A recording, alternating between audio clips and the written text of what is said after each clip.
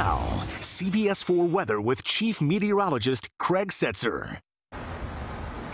So another beautiful day today across South Florida. Plenty of sunshine, a nice breeze, great outdoor weather, and great weather to do weather from your backyard, which is what I'm doing today. Here's a look at temperatures over the past week now. Uh, after we had that big warm up and then cool down, we've had no cold fronts and the temperatures have just been really steady right in the mid 80s, 83, 84, just about every single day.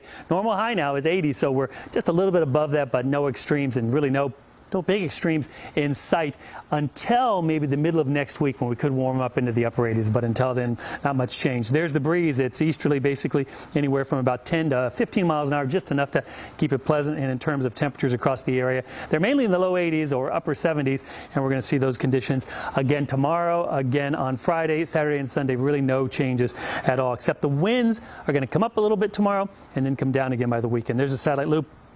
Not much to speak of there, mostly clear skies and the wider view showing that looking upstream across the Bahamas there there just isn't a whole lot going on, just a few clouds out there.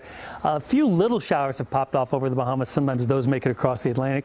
Sometimes they can give us a shower here or there, but all in all, rain chances pretty low. Temperatures across the country over the southern part of the uh, states, the Gulf coastal states, temperatures are in the low 80s to the 70s showers and thunderstorms mainly to the north of that. In the northeast today, temperatures have been on the cool side as clouds have been increasing ahead of a storm system that is going to bring some rain there.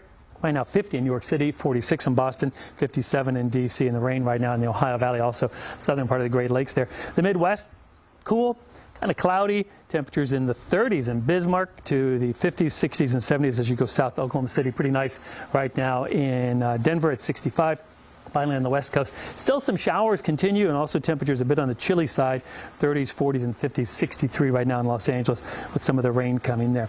In terms of our forecast for tonight, looking great. Uh, very, very nice night. A little bit breezy along the beaches. Temperatures there will be a little bit warmer, low 70s, some upper 60s while inland. For tomorrow, look for a good deal of sunshine, very similar to today.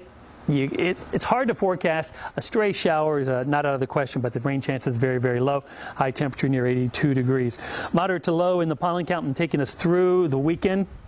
It's looking good. Temperatures warm, mainly in the mid 80s for highs, lows in the 70s. But look at that. By next Wednesday, we could be pushing upper 80s. Back to you.